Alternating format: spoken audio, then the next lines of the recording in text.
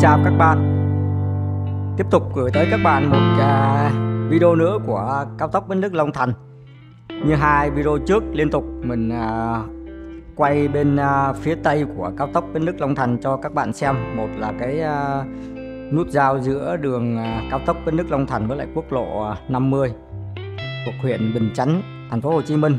Và một nữa là của nút giao với lại đường Nguyễn Đình Tạo của nhà bè thành phố Hồ Chí Minh. Video này mình à, quay trở lại phía đông của cao tốc Bến Lức Long Thành.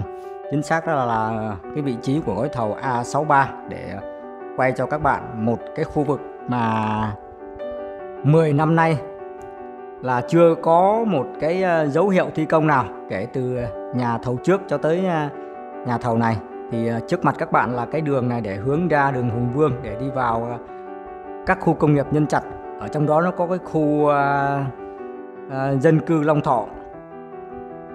Bây giờ mình à, di chuyển tới cái vị trí này cho các bạn à, xem. Đây từ cái vị trí mình đang quay à, là thuộc gói thầu A63. Đây là cái vị trí có một cái cầu à, cạn vượt qua cái đường dân sinh. Bắt đầu à, từ đây trở đi giáp với lại à, phía đằng kia nó nó khoảng à, 700 hơn 700 mét à, các bạn.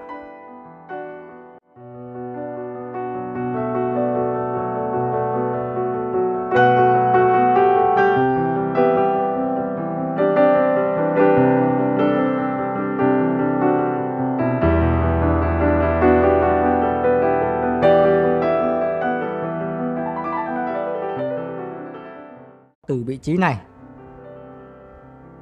Cho tới à, phía xa xa kia cái um, màu mà vàng vàng trắng trắng đấy là phía đó là phía ờ, đầu bên kia của đường cao tốc đang à, thi công. Đây như cái, hình ảnh các bạn à, đang xem. Mình à, đi lại cái khu vực này ờ, rất là nhiều cũng quay rất là nhiều cái video từ trên cao. Thì mình thấy là từ khi mà khởi công cái đường à, cao tốc này vào năm 2014 cho tới nay là 10 năm rồi. Kể cả nhà thầu trước cho tới nhà thầu này. Nhà thầu này thì sắp sửa hết cái à, hạn hợp đồng và mình vẫn chưa thấy có cái dấu hiệu gì à, là thi công của cái góc đường này. Đó, các bạn thấy vẫn còn tất cả những cái hình ruộng lúa, ruộng rau gì cái này là có cái ruộng rau này mình cũng à, thắc mắc là không biết tại sao trong khi đó thì cái à, hạn hợp đồng sắp sửa hết rồi. Đó, các bạn thấy một quãng à, mình mới quay cho các bạn coi từ cái mép mà phía vừa qua cho tới đây là khoảng 700 mét các bạn. Đó 700 mét thì đầu này thì là đang thi công rồi ở công trường à, gói thầu à, của cao tốc với Lức Long Thành thuộc A6 này thì à, được gọi là một đại công trường.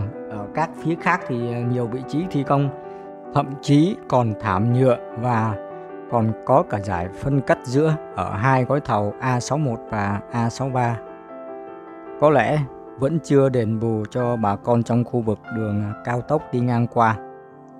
Nhiều công trình hạ tầng giao thông bị chậm trễ là do phần đền bù này. Có phải à, như vậy không, thưa quý vị và các bạn? Có bạn nào hiểu rõ thông tin thì à, bình luận ở phía dưới cho mọi người cùng được biết nhé.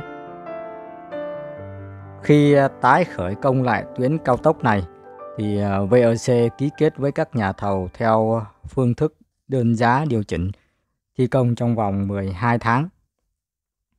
Xin giải thích theo sự hiểu biết của mình. Tên hợp đồng thì à, nghe cũng đã hiểu phần nào, chỉ có phương thức thanh toán tiền cho nhà thầu theo khối lượng công việc. Xong tới đâu thì thanh toán tiền tới đó. Không biết mình giải thích như vậy các bạn có hiểu không?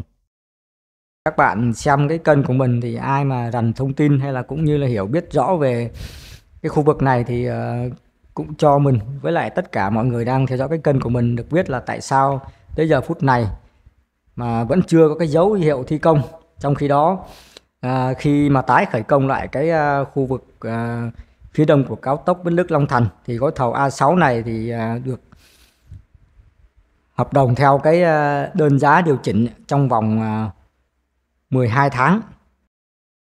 Quý vị và các bạn à, thân mến, nếu mà ai thường xuyên à, theo dõi cái kênh của mình thì biết rằng là mình quay khá là nhiều à, các video về cái đường à, cao tốc Bến Lức Long Thành kể cả khu vực à, phía Tây lẫn khu vực phía Đông như là cái video mình đang quay đây.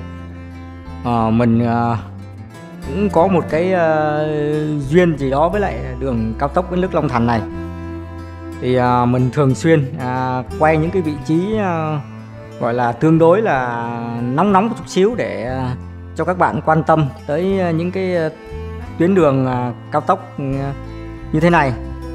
Thì uh, video này thì mình cũng uh, cảm thấy là đây là một cái vị trí uh, cần phải quay lên cho các bạn uh, xem về tại sao mà đường cao tốc Bến Đức Long Thành nơi thì là thi công rất là rầm rộ nơi thì lại điều hưu trầm lắng như vậy.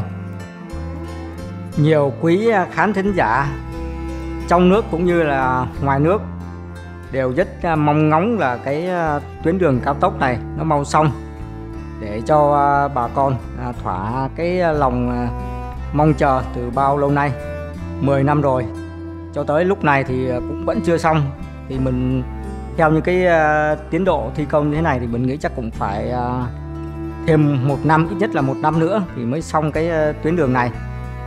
Ờ, video này mình cũng ờ, xin được gửi tới các bạn những hình ảnh mà mình cũng không muốn ờ, ghi lại một chút xíu nào. Hy vọng là các bạn xem cũng như là ủng hộ cho cái kênh youtube của mình để mình có thêm động lực quay thêm nhiều cái video khác nữa nha các bạn. Xin chào và hẹn gặp lại các bạn.